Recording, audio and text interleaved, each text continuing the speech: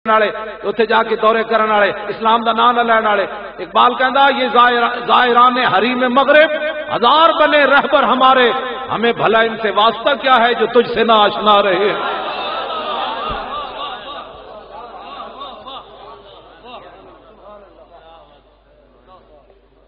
हमें कुछ मत, दीन का सवाल होना है, कबर में जो तैयारी है तो ठीक है, नहीं तो फिर तैयारी करो। तो फिर तीसरा सवाल ये होना है, भाई, इस महबूब ना वफा कितनी की थी? माँ कुन तकूल. हो क्यों जी? वैसे आपस बैठे हाँ आपस बैठे हाँ इतने मैं, मेरे को हो ना बड़ा सारा ब्लैक बोर्ड तो मैं वो लिख देव अलहमदुल्ला उलमा ते तलबा छड़ के मैं भरे मजमे को पूछा भाई दसो भाई, अलहमदो की दाल ते पेश क्यों आई? भरे मजमे जो मैं किसी जवाब भी नहीं देना भाई अलहमदो की दाल ते पेश क्यों आई? यार जिस बंद अलहमदो की दाल की पेश दा मैं पढ़ा अलहमदा ते गलत कोई करे उठ के जी उलमा छड़ के मैं तो तुम उठ पवो। हाँ तो, तो पता ना भाई पेश क्यों आई है नामीर की गल है। हाँ जी। जिस बंद यार अलहमदो की दाल की पेश का पता ना हो हजूर इज़्ज़त के बारे बंदा गल करे। नामूस रिसालत के बंदा बंदा गल करे।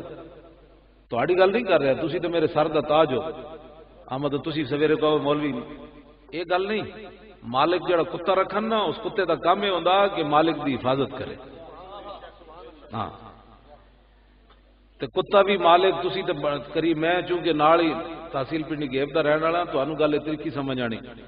हर चारपाई थले जरा कुत्ता जाके बोटी तलाश करे ना कभी भी किसी ने पट्टा पा के ते उन्हें कहा कोई राख, राखवा कुत्ता थोड़ा है हर जाके बोटी हाथ मुँह पाता कुत्ता भी लोग नस्ली रखते हाँ ते हजूर ते दीन का जड़ा पहरेदार है वंजी होना जड़ा जड़ा हर दस्तरखान तो जाके बोटी चुके, वो दीन का रहनुमा दीन का रहबर नहीं हो सकता हाँ वो कवे, मर ही जाऊँ जो इस दर से जाऊँ दो कदम। क्या बचे बीमारे गम? कुर्बे मसीहा छोड़कर करूँ मदहा तुवल रजा। पड़ इस बला में मेरी बला। मैं तो गदा हूँ अपने करीम का, मेरा दीन पर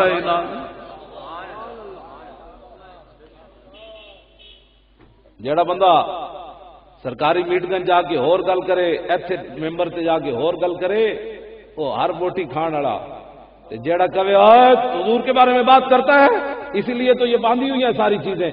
हाँ तो समझ लेना, ओ दरबार का कुत्ता है। हाँ वो दरबार की हिफाजत वाला कुत्ता है। हाँ जरा हर बोटी चकन वाला उस मुमकिन भी नहीं। गल कोई समझ आ रही कोई नहीं। हाँ जरा हजूर की इज़्ज़त और नामूस से खड़ा ना हो सके वो बंदा है? हाँ, हालात को देखकर बातें करने वाला को बंदा है? वो बंदा नहीं है। बंदा है जनाब अगले सारा कुछ भी कट देन सामने फांसी का फंदा बदे हुए असी हज़रत खुबैब बिन अदी उन्हें पूछा उन्हें कहा दसो जी आखिरी ख्वाहिश? उन्हें कहा जी आखिरी ख्वाहिश है मैं दो रकत नमाज़ नफल पढ़न दो। साहब असी फ़र्ज़ भी पढ़ने वास्ते तैयार कोई नहीं साहब भी तो जाने जाने फरमाया दो रकत नमाज़ नफल पढ़न दो आज कहने वो रब ने बख्श देना है मैं आखो बख्श तो देना है लेकिन उससे रब का हुक्म है ना नमाज़ पढ़िया कर लाहौर लाहौर तो कोई नहीं मसीता खाली हो गई लाहौरी तो सारी रात केवल ही वेखते रहते पिंडी तो मैंने नहीं पता मैं आप खुद सर्वे किया लाहौर का दाता साहब की मस्जिद दरबार मसीता तो इलावा दस तो पंद्रह नमाजी होंगे बस पूरे लाहौर मैं सर्वे किया कोई नहीं नमाजी होने, सवेर की नमाज़ खास करके मैं गल कर रहा बाकी नमाजा नहीं तो सवेर की नमाज़ की गल कर रहा लाहौरी फारे मैं लाहौरिया जनाब सुना है गल।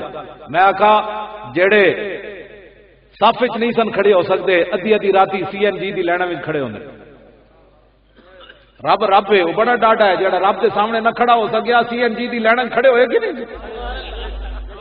अद्धी अद्धी राती उठ के सी एन जी की लैना च लग्या मैं आखे वही सी जरा सवेरे नहीं सी उठ सकता मंग पना मोहम्मद बख्शा बेपरवाह जनाबों। मत कोई गल अवली निकले, रद्द हो जाए इस बाबो। वो बड़ा डाटा है लगने मच्छर ना नमरूद न मरवा देंदा। वो छोटे बच्चे को अबूजाल न मरवा देंदा।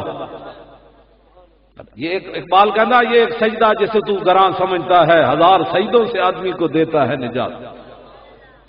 नमाज़ पढ़े करो, अल्लाह दे बंदे। कोई नमाज़ ना कोई नुकसान होया तो फिर थोड़े नुकसान पूरा कर देना।